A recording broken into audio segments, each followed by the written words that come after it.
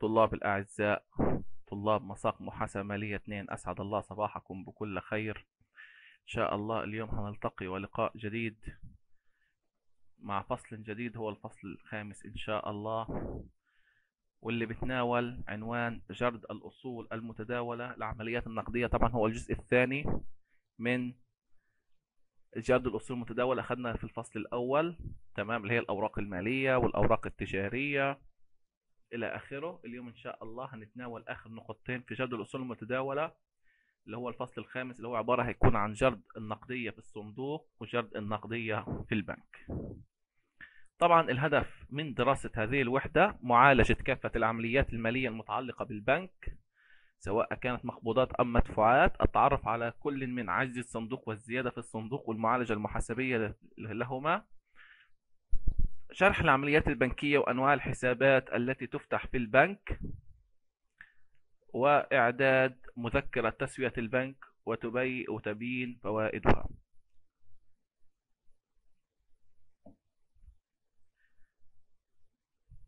طيب نيجي أول نقطة اللي هو جرد النقدية في الصندوق. طبعا كلنا إحنا عارفين الصندوق أول ما بدأنا أصلا دراستنا وإحنا بنحكي الصندوق ايداع في الصندوق سحب من الصندوق إلى آخره. تمام؟ طبعا كلنا عارفين إن الصندوق في نهاية السنة رصيده يرحل لأنه من الحسابات الحقيقية فرصيده يرحل ويظهر في الميزانية العمومية. وطبعا كإجراءات إن الرقابة تمام؟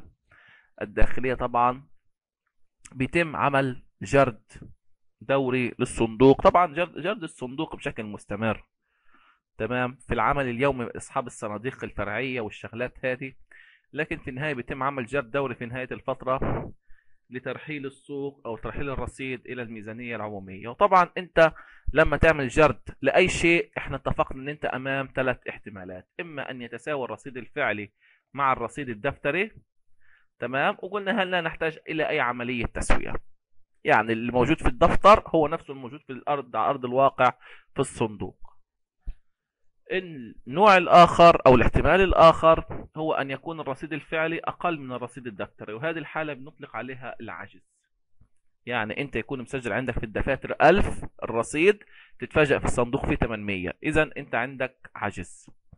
الحالة الثالثة إن يكون الرصيد الفعلي أكبر من الرصيد الدفتري. يعني بدل ما هو مسجل في الدفاتر 1000 تمام وتتفاجأ إنه على أرض الواقع في 1100 1200 في الخزينة أو في الصندوق.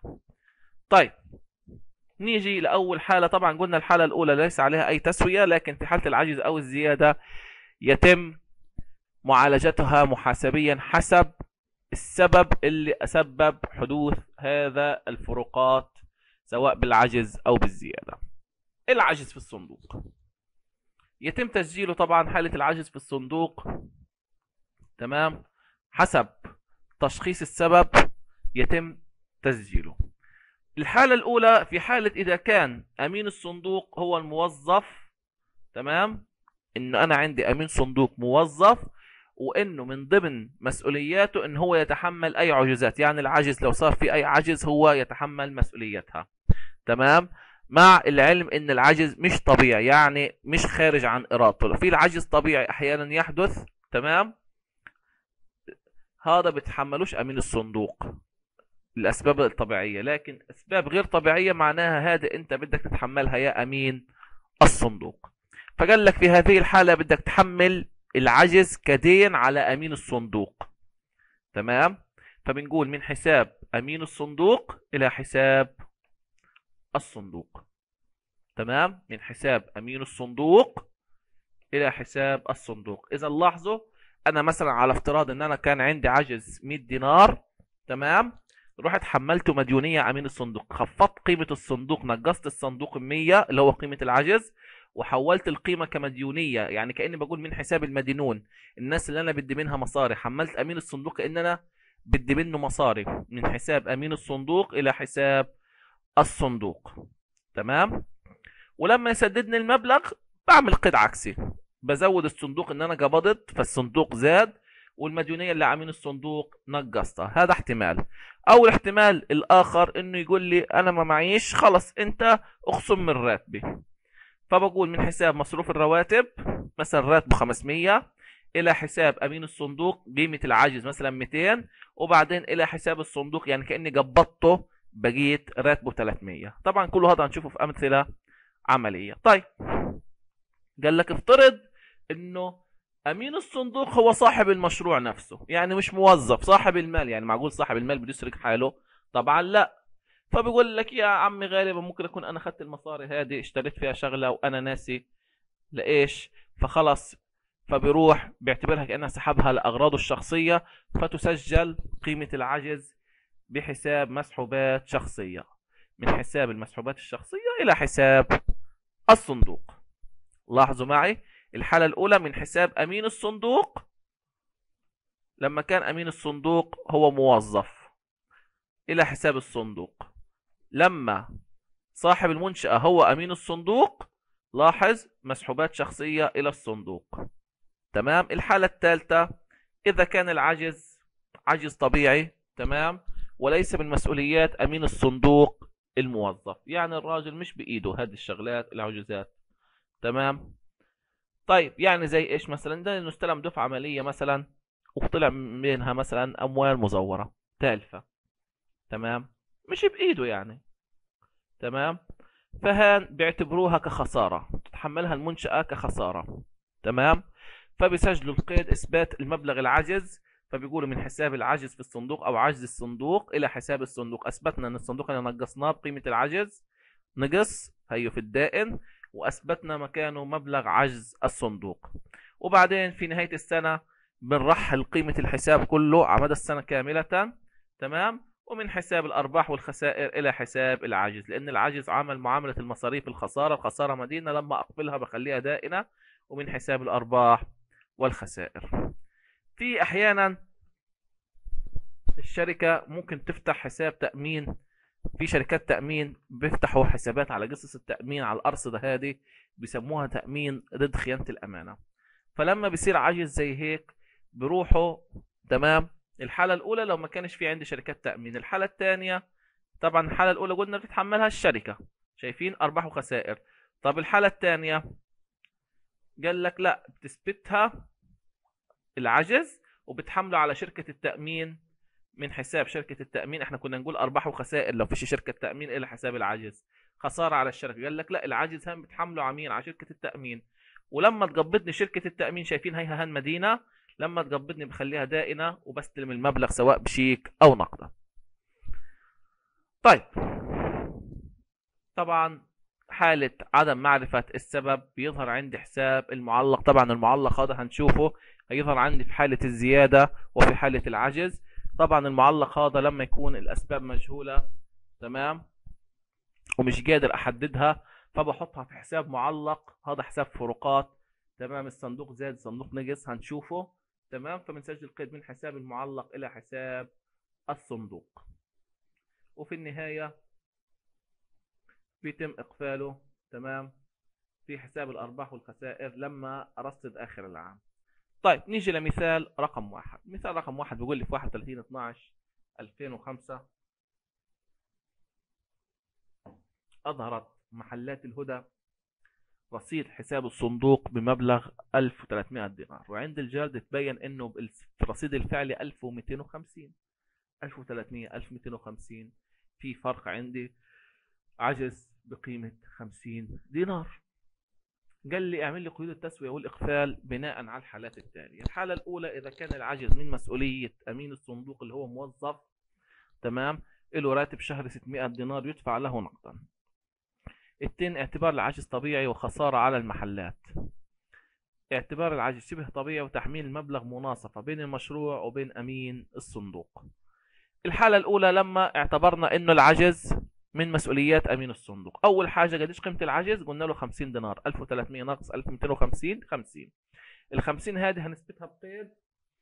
تمام؟ بدنا نثبتها بقيد من حساب أمين الصندوق. بدنا نحمل المديونية على مين على أمين الصندوق. هي من حساب أمين الصندوق إلى حساب الصندوق. تمام؟ تمام. أثبتنا هيك المديونية. الصندوق نقصناه عشان نعدل العجز. خلص هيك فيش عجز.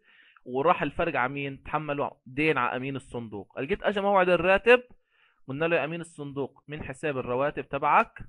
تمام مصروف الرواتب 600 دينار إلى مذكورين. هلقيت إحنا في العادة لما بندفع الرواتب بنقول مثلا دفع الرواتب نقدا مش بقول لك بياخد راتبه نقدا من حساب مصروف الرواتب إلى حساب الصندوق. قال لك هلا هان في عليه خصم العجز.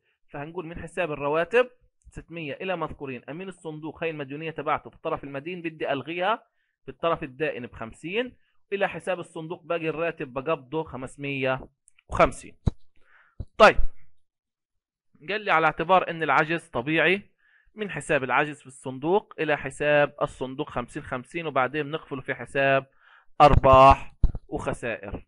تمام؟ هي العجز مدين لما هقفله هخليه إيش؟ دائن.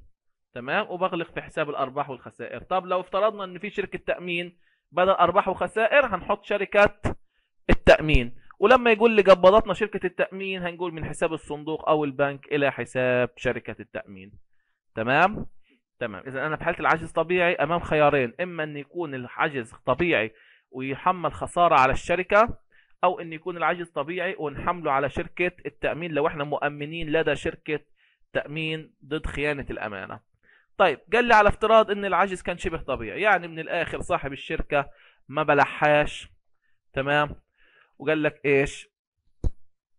وقال لك يا عمي أنا مش مقتنع أنا مش حاسس إن هو هذا لا هي خلل من عندك أنت بتتحمل ليش ما كنتش مركز؟ لا أنا نفترض انه الخلل كان أموال تالفة تمام؟ في أموال دفعات أجت من خلالها كان في ما بين الأوراق أوراق تالفة. هان المفروض إنه يتحمل يعني مال تالف خلص يعني عجز طبيعي. راح اجى صاحب المشروع ما جمطهاش قال له لا هذا إهمال منك وعشان أنا نكون معك كويسين خلص إحنا بنشيل النص وأنت شيل النص. طبعا الصندوق مدين. لما يصير في عجز بخليه دائن بقيمة 50 إلى حساب الصندوق. لاحظوا لو رجعتوا للحالتين الحالة الثالثه هذه هي عبارة عن دمج للحالة الأولى والحالة الثانية. تمام؟ فقال لك مناصفة بين المشروع والم... إيش؟ أمين الصندوق. فهقول من حساب أمين الصندوق 25 هي نص المبلغ ومن حساب اعتباره عجز طبيعي تمام على الشركة خسارة على الشركة ب 25 إلى حساب الصندوق. طبعا العجز هيقفل في حساب الأرباح والخسائر وأمين الصندوق هينخصم من راتبه زي ما أنتم شايفين. هيك بنكون نهينا النقطة الأولى المتعلقة بالعجز أو النقص في الصندوق. طيب نيجي للنقطة الثانية اللي هي في حالة الزيادة. الزيادة في الصندوق. تمام؟ قال لي الحالة الأولى اعتبر اعتبار إنه الزيادة إيراد للمشروع. تمام؟ إيراد للم... يعني اعتبار الزيادة هذه طبيعية من الآخر يعني. اعتبارها زيادة طبيعية إيراد للمشروع. مش كنا نحكي اعتبار العجز طبيعي. يعني خسارة على المشروع. وهنا اعتبار الزيادة إيراد للمشروع يعني اعتبار زيادة طبيعية. فقال لك اثبتها من حساب الصندوق.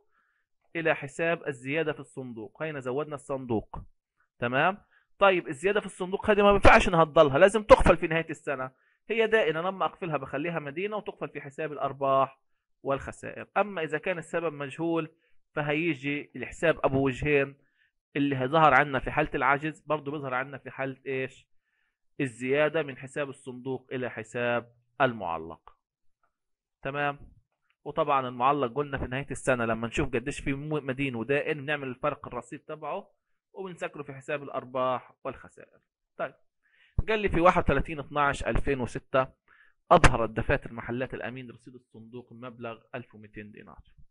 وعند الجار تبين أن الرصيد الفعلي للصندوق 1270 دينار. قال لي تسجيل يعني في عندي 70 دينار زيادة في الصندوق. تمام تمام. قال لي اعتبرها إن إيراد يعني من الآخر اعتبر إن الزيادة هذه زيادة طبيعية فهقول من حساب الصندوق إلى حساب الزيادة في الصندوق. موضوع سلس وبسيط جدا. من حساب الصندوق إلى حساب الزيادة في الصندوق. تمام؟ وبعدين الزيادة بنقفلها في حساب الأرباح والخسائر. هي دائرة بنخليها مدينة. طيب. الحالة الثانية قال لي في حالة عدم معرفة السبب هو فيش غير خيارين يا إما نعتبرها زيادة طبيعية يا مع مجهولة السبب. على طول على المعلق والمعلق برضه نفس الفكرة يقفل في حساب الأرباح والخسائر. يعني ما اختلفش شيء. شلنا كلمة زيادة في الصندوق حطينا كلمة معلق. بس. تمام؟ موضوع سهل جدا. طيب مثال ثلاثة. ركزوا معي هان قال لي بتاريخ 30 6 2009 ظهر رصيد الصندوق الدفتري لمحلات الأمانة التجارية مبلغ 3800 دينار. وعند الجرد الفعلي تبين وفقا لمحضر الجرد أن قيمة موجودة فعليا كانت 4100 طبعا للوهلة الأولى بتقول أو هاي زيادة في الصندوق 4100 قالوا في زيادة ما هو أنت في زيادة أو في عجز بدك تدور على الأسباب اللي سببت الفروقات هذه. فبدأوا يراجعوا من وراء أمين الصندوق ويشوفوا وين الخلل. لقوا أنه هناك فاتورة مبيعات نقدية بقيمة ألف دينار. لم يتم تسجيلها. يعني في بيع ب 1000 دينار ما تسجلش. طيب قال لك في فاتورة مصاريف اندفعت ب 2000 200 دينار عفوا ولم تسجل. يعني هي في فاتورتين بيع وشراء فاتورتين ما اندفعوش. واحدة ما اندفعتش وواحدة يعني ما تسجلوش بشكل عام. قال إنه سياسة الشركة بتتحمل 30 دينار وأمين الصندوق يتحمل الباقي في حالة وجود أي عجز يعني الشركة لو طلع عجز 10 دنانير بتشيلها الشركة 20 دينار الشركة 30 دينار الشركة. 31 دينار الشركة 30 وأمين الصندوق واحد. 40 دينار الشركة 30 وأمين الصندوق 10 إلى آخره. فقال لي وقد تم خصم مبلغ العجز بتاريخ 31 7 من راتب أمين الصندوق البالغ 600 دينار وصرف الباقي نقدا يعني من الآخر طلع في عجز عليه. تمام. اتحملت الشركة 30 والباقي شالوا أمين الصندوق. طب نيجي. أول حاجة بدي أعمل عشان أعدل الرصيد. قال لي بدك في فاتورة مبيعات ما تسجلتش بدي أسجلها نقدا طبعا فمن حساب الصندوق إلى حساب المبيعات. وفي فاتورة مصاريف 200 دينار ما تسجلتش. اذا من حساب مصاريف الضيافة إلى حساب الصندوق. هي جيت ركز معي. المبلغ المبلغ اللي في الب... اللي في الصندوق 3800 حسب الدفاتر. مظبوط؟ مظبوط. قال لك ضفنا عليهم كمان 1000 قبضناهم فاتورة ما كانتش مسجلة ضفناها. هي مش الصندوق زاد ب 1000 هي من حساب الصندوق. اذا الصندوق زاد ب 1000 صار الصندوق 4800 أخصم منه نقص فاتورة الضيافه 200 ناقص 200 اذا الرصيد الفعلي أو الرصيد الدفتري المعدل الأصلي هو 4600 معناها إنه أنا حسب الدفاتر هيكون عندي رصيد 4600 فعليا 4100 في عجز عنده قديش؟ 500 وصلت الصورة كيف صارت؟ نعيد كمان مرة. هو إيش قال لي في السؤال؟ قال لي في السؤال إنه الرصيد الدفتري 3800 صح؟ لما بعكشنا لقينا في فاتورة مبيعات يعني معناها إنه قبض فوق ال 3800 كمان في 1000 قبضهم بس ما سجلهمش بدي أسجلهم. وفي كمان 200 دفعهم وما سجلهمش بدي أخصمهم. يعني فعليا بدي أقول الرصيد الدفتري الأساسي كان 3800 ضيف عليهم 1000 قبضهم ما سجلهمش واطرح منهم 200 دفعهم وما خصمهمش. يعني الرصيد 4600 حسب الدفاتر. تمام؟ 4100 رصيد فعلي في 500 مخصومات. عجز عنده. طب إيش قال لك؟ قال لك الشركة بتتحمل 30 والباقي أمين الصندوق. فمعناها بدي أقول من حساب؟ هي العجز 500 إلى حساب الصندوق ب 500 من حساب العجز في الصندوق؟ 30 وحملنا الباقي على أمين الصندوق 470 لما أجي أقبض راتب الراجل من حساب؟ مصروف الرواتب. إلى حساب. خصمنا عليه 470 وقبضناه فعليا بس 100 و30 هي ال 600 راتبه كله انخصم عليه 470 مدين هو كان أمين صندوق في الطرف المدين لما حملناه العجز لما سده صار في الطرف الدائن. تمام ودفعنا له 130 قلنا له هي بقيت راكبك يا بطل. طيب كمان فكرة على السؤال. قال لي كان الرصيد الدفتري للصندوق 1820 في حين كان الرصيد الفعلي اللي لقوه 1520 الراجل الوهلة الأولى اكتشف لقى عنده عجز 300 دينار. دوروا إيش سبب العجز لقوا في فاتورة مشتريات بقيمة 150 دينار لم يتم إثباتها في الدفاتر. تبين أن التاجر دفع 100 دينار من حسابه نقدا إلا أن المحاسب تمام؟ مثلا التاجر محمود التاجر كذا دفع 100 دينار إلا أنه التاجر المحاسب لم يسجلها في الدفاتر. تبين أنه الشركة قامت بدفع مبلغ 50 دينار فاتورة تلفون تمام؟ تبين إنه كمان خلص بس ثلاث عمليات لم تسجل في الدفاتر. حلو. تمام؟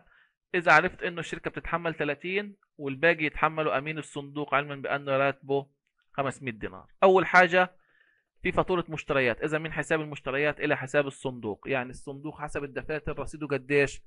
1820 ركزوا معي. هي 1820 بدي امشي واحدة واحدة. عندي أول حاجة هي عملنا قيد فيها من حساب المشتريات شايفين؟ إلى حساب الصندوق. اذا بدي أطرح 150 قيمة فاتورة مشتريات.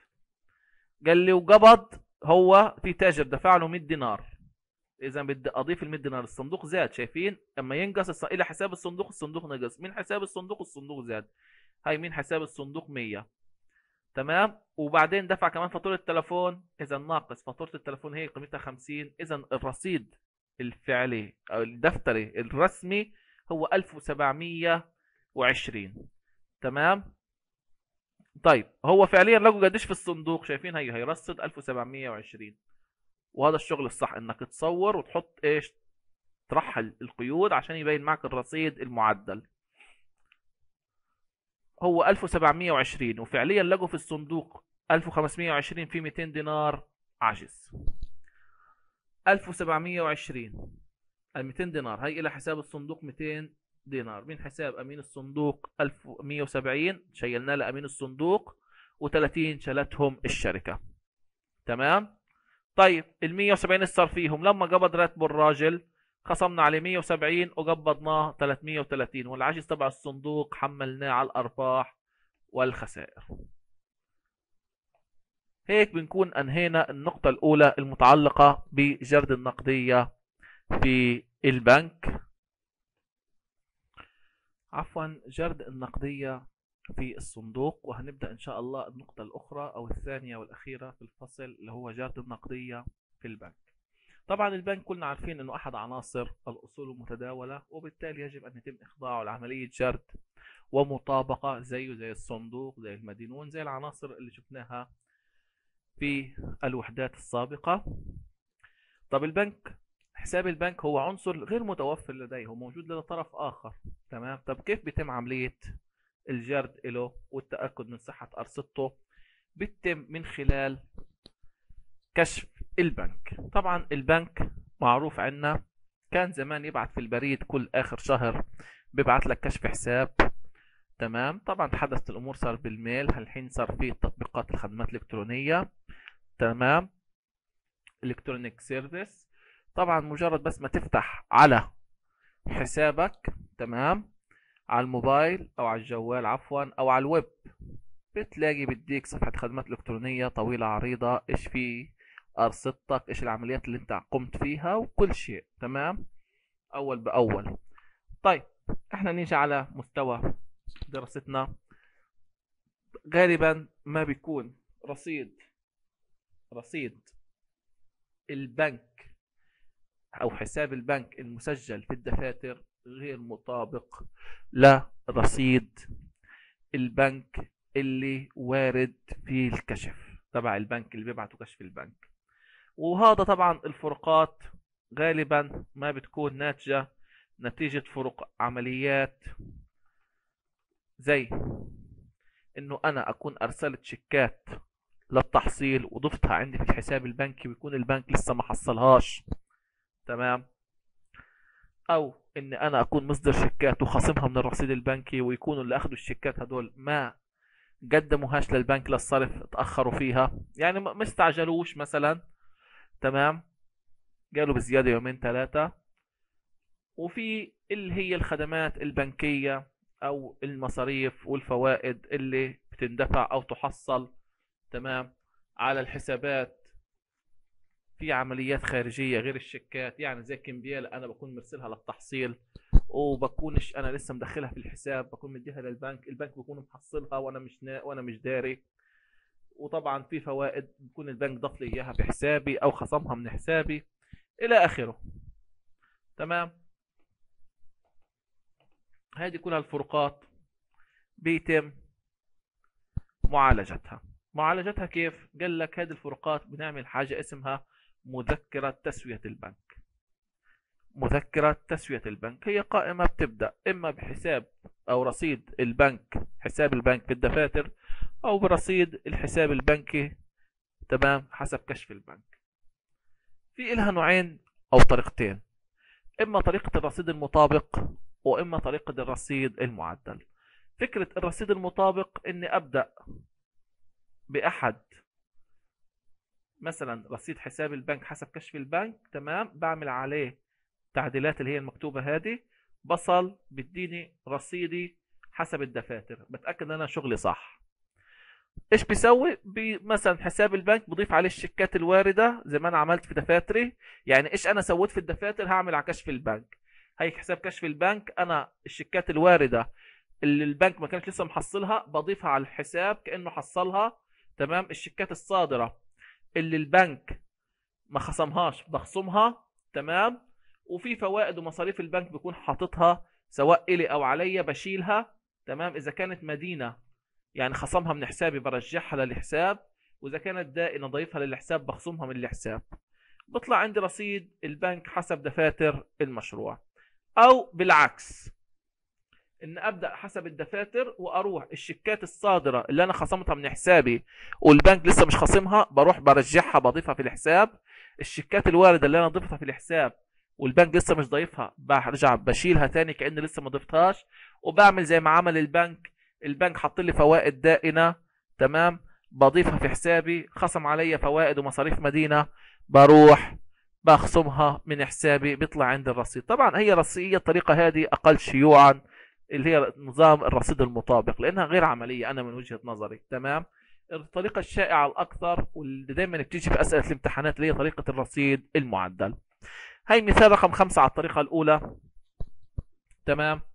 قال لي كان رصيد حساب البنك في الدفاتر 11610 بينما كان حساب البنك في الكشف تبع البنك 12500 ولما دوروا على أسباب الخلاف لقى في عندي شيك رقم 555 تمام بقيمة 1200 دينار إحنا أصدرناه ولكن عصام ما قدمهوش للبنك. شيك صادر لم يقدم. وإحنا استلمنا شيك بقيمة 300 دينار ارسلناه للبنك لإضافته في الحساب ولكن البنك ما كانش ضايفه. يعني هي شيك صادر نقطة رقم واحد نقطة رقم اثنين شيك وارد. قال لي في عندك مصاريف خدمات مصرفية 15 دينار البنك خصمها عليا. تمام أنا مش موجودة عندي في الدفاتر. وفي عندي خمس دنانير البنك حط لي إياها فائدة ريبيت على الحساب الجاري تبعي. تمام قال لي اعمل لي مذكرة التسوية وقيود التسوية والجردية والإقفال. وتصوير حسابات البنك. طبعا بالنسبة للمذكرة زي ما إحنا حكينا قيود التسوية والإقفال غالبا هي ما بتتعلق إلا بس بقضية الفوائد والمصاريف اللي البنك بيكون مسجلها وأنا مش مسجلها عندي. هذه بدي أخدها بعين الاعتبار. تمام؟ هنشوفها في الأمثلة القادمة. وبيان أثرها على حساب الأرباح والخسائر إلى آخره. قال لو إحنا بدينا بكشف البنك البنك 12500 بدي أخليه 11610 زي رصيد الدفاتر. إيش بدي أسوي؟ بدي أعمل أول شيء زي ما سوت الشركة. الشركة أرسلت شيك عندها شيك صادر وشيك وارد. الشيك الصادر الوارد بدي أضيفه اللي هو 300 دينار اللي أخذناه من إبراهيم. بدي اودعه في الحساب. تمام؟ تمام. طيب قال لك والمصاريف اللي أنت خصمتها علي بدك ترجعها. هو خصم علي 15 دينار بدي أرجع أضيفها تاني. حلو؟ حلو. طيب قال لك والشيك الصادر اللي أنا نقصته بدك تطرحه. 1200 دينار. اللي أنا طلعته تمام؟ بدي إيش؟ أخصمه زي ما خ... بدك تخصمه يا بنك كأن أنا بحكي مع البنك. بدك تخصمه زي ما أنا خصمته. والخمس دنانير اللي أنت حطيتها في حسابي شيلها. تمام؟ طلع معي 1200 12500 زائد هي 315 300 زائد 15 315 صار 12815 اطرح منهم 1205 بيطلع 11610 هي طريقة. أو إن أنا أعمل زي البنك. أنا أعمل زي البنك. إيش البنك سوى؟ قال لي حسابي أنا حسابي 11610 تمام؟ قال لي البنك أنا خصمت شيك صادر. البنك لسه ما خصموش بدي أرجعه. طب البنك حط في حسابي فائدة بدي أحطها. طب أنا أضفت في حسابي اللي هو 300 دينار شيك وارد. البنك ما ضافوش بدي أرجع أخصمه. والبنك خصم علي 15 دينار مصروفات بنكية بدي أخصمها. أي 11610 زائد 1205 ناقص 315 12500 لاحظ الرقمين هدول هم نفسهم اللي فوق بس بالعكس كان مضيوفات مطروحات والمطروحات صاروا مضيوفات. انعكست بس. تمام؟ عشان هيك أنا بعتبرها طريقة غير فعالة. طبعا بالنسبة للقيود في عندي قيدين اللي هي خاصات بالمصاريف. بدي أخصم المصاريف البنكية اللي خصمها البنك عليا تمام؟ وبدي أضيف الفائدة الدائنه البنك ضاف لي إياها. وبعدين أقفل كل واحدة على حدة زي ما إحنا شايفين. وأصور حساب البنك. تمام؟ طبعا الرصيد تبع البنك 11600 هيك الرصيد المعدل الخاص بالميزانية العمومية اللي المفروض يظهر في الميزانية العمومية. له 12500 تمام؟ وله 11610 هو 11600 طيب وهي الأرباح والخسائر وهي حساب البنك حسب نيجي لمثال رقم 6 هذا المثال هيتناول الفكرة بطريقة الرصيد المعدل. تمام؟ ركزوا معي منيح هان وشوفوا كيف الفكرة بتصير.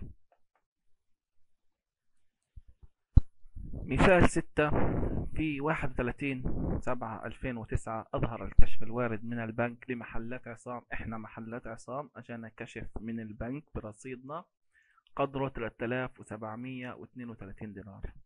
وكان رصيد البنك عندي في الدفاتر تاعت الشركة أنا اللي أنا مسجله 4185 لما بحثت عن الأسباب الاختلاف لقيت ما يلي لقيت إنه في 1447 دينار إيداعات نقدية تمام قدمت للبنك ولكن لم تظهر في كشف البنك.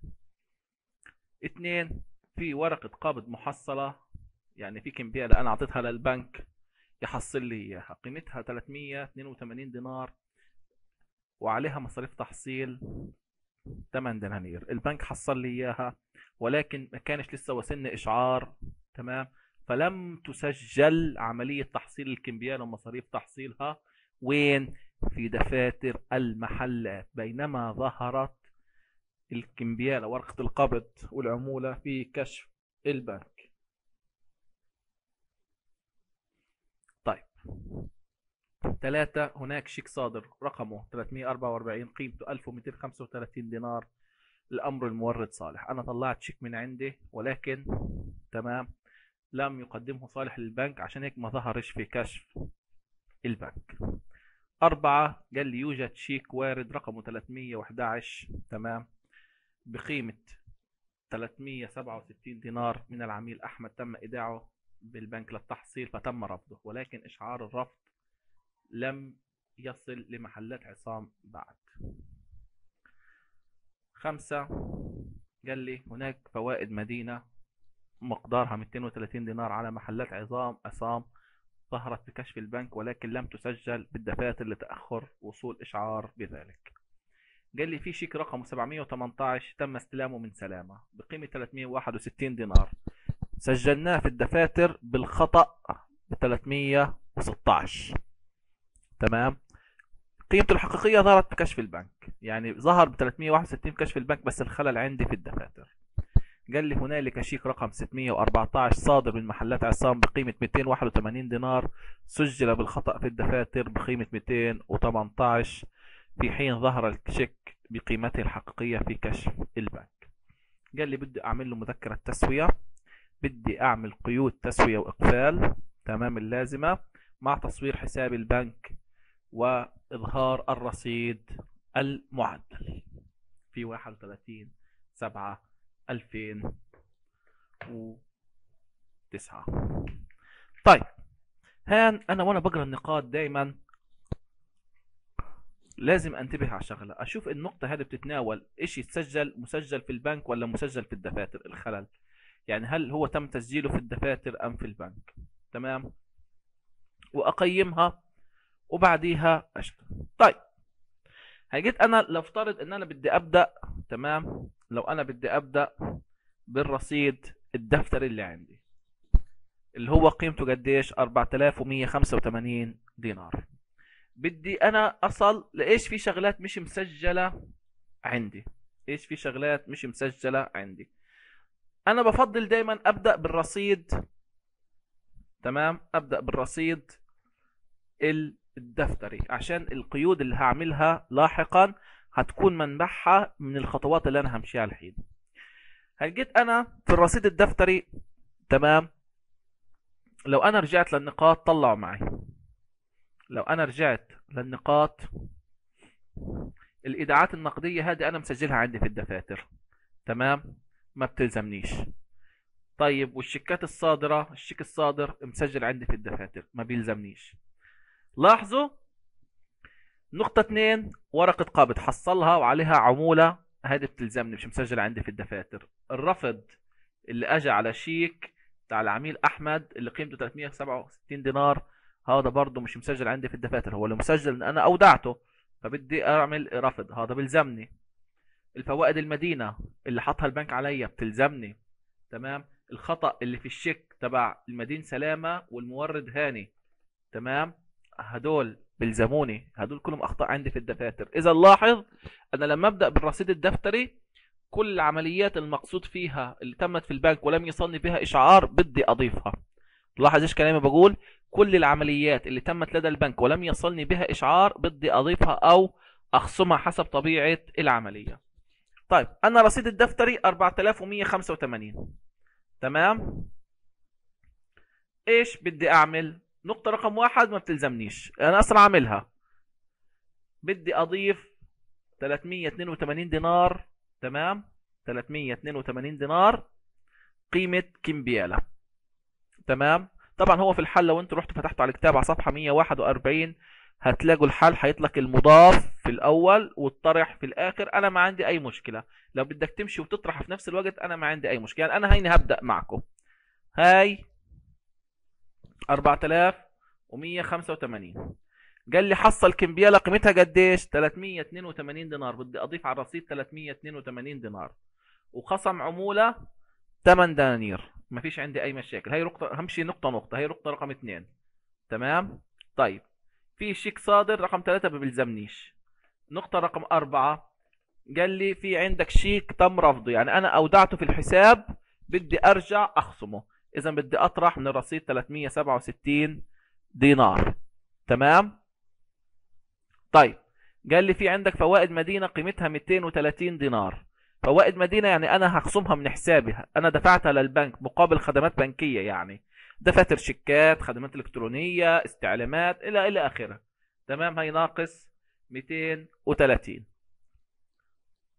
طيب قال لي في شيك المدين سلامة. ب 361 دينار. أنا سجلته ب 316 لاحظوا هان لما أنا أقول 361 تمام؟ وأنا سجلته في الدفاتر 316 معناها أنا قللت من قيمة الرصيد تبعي بقيمة 45 دينار فهرجع أضيف تمام؟ على رصيدي 45 دينار. خطأ شيك بالخطأ. تمام؟ طيب قال له في عندك شيك أخونا مين؟ المدين اللي هو تبع المورد هاني. هذا شيك طلع من عندي. قيمته 281 دينار لكن أنا لما سجلته سجلته 218 معناها بدي أنقص من رصيدي 63 دينار. هي ناقص 63 دينار. إذا المفروض الرصيد المعدل عندي يكون 3944 شوف أنا مشيت نقطة نقطة. تمام؟ ما, ما راعيتش فيها يضاف وبعدين أحط الطرح. أو أنت بدك تحل زي نظام الكتاب برضه صح مرتب أكتر. هاي الرصيد الدفتري اللي بده إضافة اللي هو ورقة قبض والشيك اللي بالخطأ تسوية خطأ تبع شيك مكتوب بالغلط تمام؟ وخصمت منه مصروف عمولة التحصيل والشيك المرفوض رجعت خصمته والعمولة المدينة أو الفوائد المدينة تمام؟ وفي شيك بالخطأ تمام؟ صادر من عندي سجلته بالخطأ أقل من قيمته فخصمتها بيطلع عندي رصيد المعدل 3944 طيب هذا الطريقة الأولى اللي أنا بفضلها. الطريقة الثانية إنك تبدأ بالرصيد تبع كشف البنك تمام؟ وبس تضيف الإيداعات النقدية التي لم تسجل في الدفاتر وتطرح الشيك الصادر هيطلع عندك نفس الرصيد الدفتر. طبعا هان أبسط صح؟ يعني واحد يجي يقول لي أستاذ نحل بأي طريقة التنتين صح. هاد نبدأ بالكشف هذا أو الكشف هذا. بس أنا ليش بفضل الأولى؟ طلعوا معي افتحوا معي صفحة 141 هيجيت لما أجي احل المطلوب الثاني إعداد قيود التسوية اللازمة لاحظ أنت لو فتحت طلع لما تمشي على الطريقة الأولى هتمشي كل نقطة بقيد هي قيود التسوية المطلوبة منك. ورقة قبض محصلة معناها هقول من حساب البنك إلى حساب أوراق قبض. تمام؟ حصلت إلي أوراق قبض 382 وبتخصم عمولة من حساب مصروف عمولة تمام؟ إلى حساب عمولة تحصيل إلى حساب البنك ب 8 دنانير. هاي أول نقطة. شايفين العمولة اللي هي نقطة رقم 2 طيب قال لي نقطة رقم أربعة. المدين أحمد اللي شيكو اترفض. أنا كنت ضايفه في الحساب بدي أرجع أنزله. تمام؟ بدي أرجع أنزله. فهقول من حساب المدينون أحمد إلى حساب البنك. بدي أنزل حساب البنك وأحمله مديونية على المدينون أحمد. طيب النقطة الخامسة اللي هو تبع الفوائد المدينة. بدي أسجل عليا فوائد مدينة من حساب الفوائد المدينة إلى حساب البنك 230 شايفين؟ هاي كله من هان. طيب قال لي وبدك تعمل تسوية للخطأ تبع الشيكين شيك وارد وشيك صادر. في شيك 45 دينار أضيفه في حساب البنك اللي هو من حساب البنك إلى حساب المدين سلامة. تمام؟ وشيك أنقص من قيمة البنك اللي هو من حساب المورد صالح إلى حساب البنك ب 63 هاي شيكات التسوية أو قيود التسوية المطلوبة عندي في المثال رقم 6 تمام. وفي النقطة الأخيرة قال لي بدي إياك تصور لي حساب البنك. لاحظوا لما هصور حساب البنك يجب أن يكون الرصيد المعدل.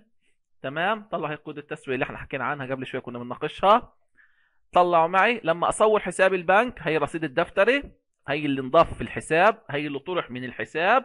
لاحظ الرصيد المعدل اللي ظهر نفس هو الرصيد تبع التصوير الحساب. طيب نيجي لمثال الأخير اللي هو مثال رقم سبعة. قال لي أظهر كشف البنك المرسل إلى محلات الشمال عن شهر آذار رصيدا دائنا يعني رصيدنا في البنك بدنا من البنك 1675 دينار في حين إنه حسب الدفاتر إحنا قلنا 1804 دينار. قال لي هناك إيداعات نقدية قيمتها 550 دينار. إن البنك احتسب فوائد دائنه 25 دينار. وردت ضمن البنك ولم تثبت بالدفاتر. شايف اللي بيقول لك لم تظهر في كشف البنك؟ بدك اما تحط كشف البنك رصيد البنك بدك تبدأ فيه بدك تحطه في كشف البنك. اللي قال لك لم تثبت في الدفاتر بدك تحطها إيش؟ لما تبدأ بالرصيد الدفتري تحطها في الدفتر. هاي قال لك أو أنا بحب أبدأ بالرصيد الدفتري. تمام؟ هاي أول نقطة. في عندي فوائد دائنه بدي أضيفها على الحساب. لم تظهر في الدفاتر. هي لم تثبت في الدفاتر. قال لي في شيك لم يقدم للصرف. تمام. بقيمة 400 كما أرفق البنك إشعارا يفيد بتحصيل كمبيالة بقيمة 40 دينار. لم تثبت. في عندي 40 دينار كمبيالة. هذا خاص كشف البنك. هذا خاص عندي في الدفاتر. قال لي في خطأ. شيك المورد سعيد. قيمته. أنا اديته بقيمة 300 842 تمام. وانخصم في البنك وكل شيء 100% لكن أنا مسجله في الدفاتر 824 يعني بدي أرجع أنقص فرقية المبلغ اللي هي تبلغ حوالي 28 دينار. تمام؟ تمام. 28 أتأكد بس. 16 18 دينار عفوا. طيب البنك أعاد شيك بقيمة 26 دينار لعدم كفاية الرصيد للعميل. بدي أرجع أرجع مديونية على سيف. اعداد مذكرة تسويه وقيود اليومية أو التسوية الخاصة بالموضوع. لاحظ لما أبدأ بالكشف تبع البنك بدي أضيف ايداعات نقدية وأطرح شيكات لم تقدم للصرف هي رصيد المعدل 1825 حسب الدفاتر أول نقطة قال لي بدك تضيف لي 25 دينار فوائد دائن على الحساب ما كنتش أنا مسجلها لسه عندي عشان ما جانيش فيها إشعار. وبدك تضيف لي كمان 40 دينار كمبيالة حصلتها البنك حصلها ما جانيش فيها إشعار. وفي عندي خطأ 18 دينار في شيك طلع من عندي أنا نقصته بأقل من قيمته 26 شيك مرفوض رجع لي إياه البنك بدي كمان أرجع أنا كنت ضايفه في الحساب بدي أرجع اخصمه أثبت مديونية على صاحبه. شوف كل نقطة عمل فيها القيد تبعها.